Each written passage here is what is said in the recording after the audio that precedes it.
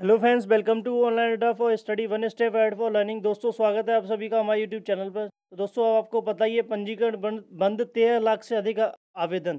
दोस्तों, ये तो चलो बात होगी कि पंजीकरण बंद हो गए हैं, लेकिन अगर जो सेकंड वे में अगर हम जाने की कोशिश करें, जो मैंने थंबनेल में दिखाया था, आपको वो इधर था दोस्तों।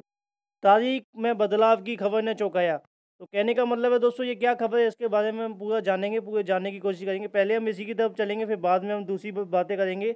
कि सर्वर को लेकर और प्रिंट को लेकर के पेमेंट को लेकर जो जो आपको प्रॉब्लम्स आ रही हैं दोस्तों, उनको रिजॉल्व किया जाए। तो पहले हम दोस्तों इसको कवर करते हैं तो उससे पहले मैं आपको बताऊँ दोस्तों, अगर आप यू की तैयारी करना चाहते हैं तो आपको हमारे चैनल पर कोर्स कराया जाए जिसमें कि आपको पर्यावरण हिंदी, इंग्लिश की क्लासेस और अदर क्लासेस भी रेगुलर दी जा रही हैं। तो आप उनका फ़ायदा उठा सकते हैं अलग अलग सबकी प्लेलिस्ट बनी है, आप उसमें जाइए और आराम से स्टडी करिए और पेपर को करेक्ट करिए।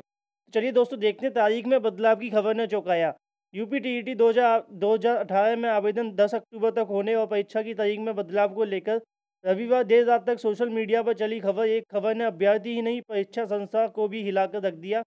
उत्पन्न खबर में कहा जा रहा था कि आवेदन की तिथि दस दस अक्टूबर तक हो गई है और जो परीक्षा तिथि है वो दस पंद्रह नवंबर को कराया जाएगा, जिस पर आदेश में भी सोमवार तक संभावित है। कहने का मतलब जिस पर आदेश आने की भी उम्मीद थी सोमवार को आ जाएगा। ऐसी एक खबर वायरल हो रही थी दोस्तों सोशल मीडिया के ऊपर। इस खबर को सचिव परीक्षा नियामक पदाधिकारी अनिल भूषण चतुर्वेदी ने ट्वीट करके बताया कि यह सिर्फ़ एक भ्रम फैलाने वाली बात है। जब आप उनका ट्वीट ट्विटर अकाउंट पर जाकर के देखेंगे तो उन्होंने एक ट्वीट भी किया था इसके अगेंस्ट यूपी टी के लिए वेबसाइट पर पंजीकरण सात अक्टूबर को शाम छः बजे तक होना था। रविवार को देर रात तक कुछ सोशल मीडिया पर खबर प्रसारित हो रही थी कि यूपी को लखनऊ के कार्यालय में सर्वर अपडेट करने का काम चल रहा है। एनआईसी की टेक्निकल टीम में बेसिक शिक्षा निदेशक यूपी के कर्मचारी और एसडीएफसी की टेक्निकल टीम कार्य कर रही है। सर्वर अपडेट का काम लगभग पूरा हो चुका है। शासन ने आवेदन तारीख को 10 अक्टूबर तक करने और परीक्षा को 15 नवंबर कराने की सहमति दी है। सचिव अनिल भूषण चतुर्वेदी ने कहा कि परीक्षा 4 नवंबर को ही होगी। पहले की तय तारीख में कोई बदलाव नहीं हुआ है। वेबसाइट पर रजिस्ट्रेशन बंद हो चुके हैं और लोगों के भ्रम फैलाने वाली खबर यहाँ यहाँ से उत्पन्न हुई है। सोमवार को इसका पता लगाकर विधिक कार्रवाई की जाएगी। तो कहने का मतलब है दोस्तों जो ये आप लोगों ने अगर किसी ने देखी होगी दोस्तों, ये भ्रम फैलाने वाली एक खबर थी, जो आपको वहाँ पे दिखाई जा रही थी। अब बात करते हैं दोस्तों कि जो नया सर्वर आया दोस्तों, कितना कारगर है।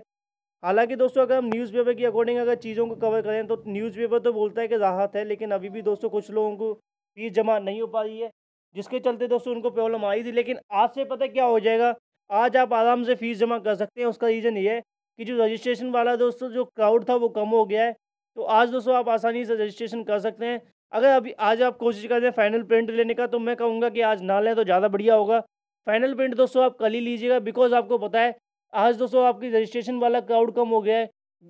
फिर आज से पेमेंट वाले लोग रहेंगे। अगर आप पेमेंट आज कर लेंगे तो कल आज कल से पेमेंट वाला क्राउड भी कम हो जाएगा, उसके बाद से बस प्रिंट वाला ही रहेगा तो आप आसानी से प्रिंट आउट निकाल सकते हैं। तो कहने का मतलब है दोस्तों, आज आप फ़ीस जमा करिए और कल आप आराम से प्रिंट आउट निकाल सकते हैं।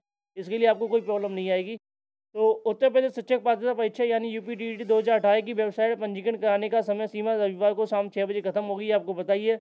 टोटल बाईस लाख सतहत्तर हज़ार पाँच सौ उनसठ लोगों ने पंजीकरण कराया, जबकि ऑनलाइन शुल्क जमा हो जाने पर तेरह लाख बारह हज़ार पंद्रह आवेदन ही रह गए। तो कहने का मतलब है दोस्तों, तकरीबन तेईस लाख लोगों ने दोस्तों इसका जो रजिस्ट्रेशन कराया था, जो एंड आते आते दोस्तों तेरह लाख लोगों ने दोस्तों इसकी फ़ीस जमा कराई, आपको बताइए। तो अगर आप लिंक जानना चाहते हैं दोस्तों ऑनलाइन फ़ीस जमा करने का तो दोस्तों ये यहाँ पर लिंक है। इस लिंक पे आप जाकर के आराम से दोस्तों फ़ीस अपनी पे कर सकते हैं। आज सिर्फ़ आपने दोस्तों फ़ीस ही पे करनी है, उसके बाद कल आपने प्रिंट आउट निकालना है। इसका रिगार्डिंग अभी भी आपके मन में कोई डाउट है दोस्तों तो आप कमेंट बॉक्स में लिखिएगा। एज सुन एज पॉसिबल मैं आपके कमेंट का दोस्तों रिप्लाई करूँगा। दोस्तों आज की खबर बस यही थी और ये जो पहली मैंने आपको कवर कराई है दोस्तों फेक न्यूज़ थी, इस पर आपको जाने की कोई ज़रूरत नहीं है। बस आवेदन तिथि कल तक की थी और कल ख़त्म हो चुके हैं। So guys, thank you. Thank you for watching this video.